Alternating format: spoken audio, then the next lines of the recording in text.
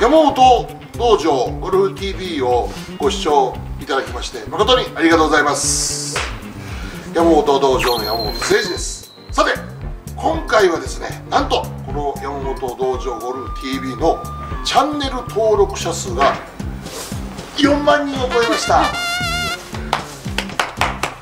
りがたいことです。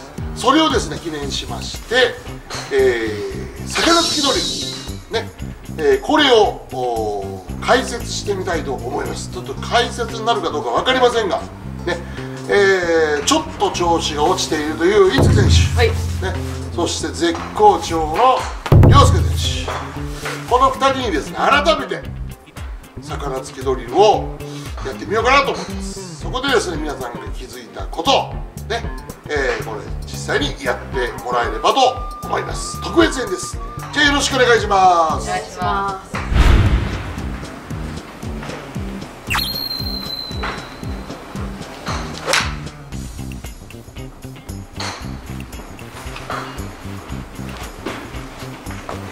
い調子が悪いとは？どういう感じですか、でなんかたまにはそんなに現れないんですけど、うんなんかあんまうまくつけてないなるほど、新しいちょっうんうまくつけてない時これでもほんまに前に今日の晩ご飯になるような魚がいてこれうまくつけないではご飯食べれませんから。ねとそうです。はい。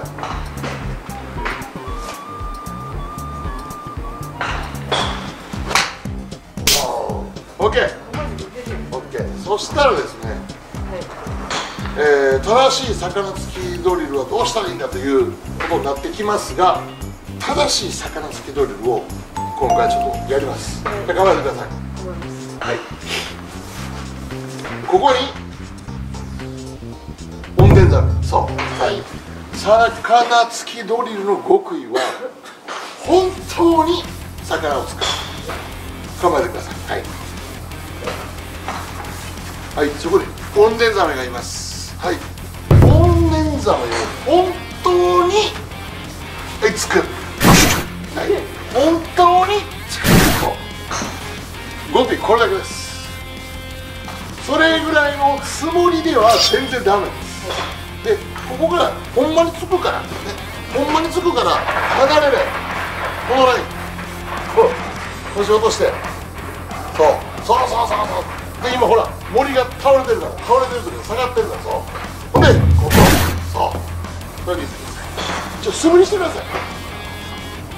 ほらこっち横行ってる。はい。違う違う違う違う違う。はいオンで。はい。はいそうそうそうはい。それです。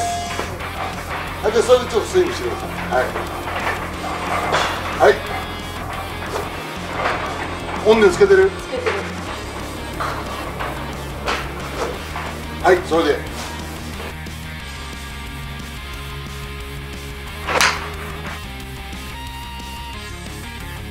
どうですか？絶対にこっちへ飛ばそうとか。ダメです。ほんまにここ。そう。そう。そう。そう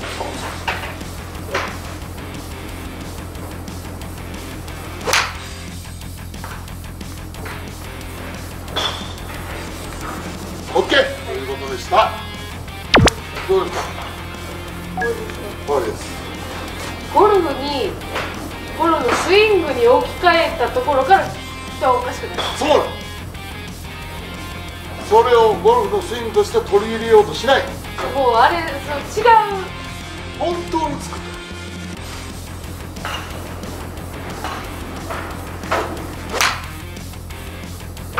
違うやつはいじゃあ洋介君。はいあんた調子がいいですけど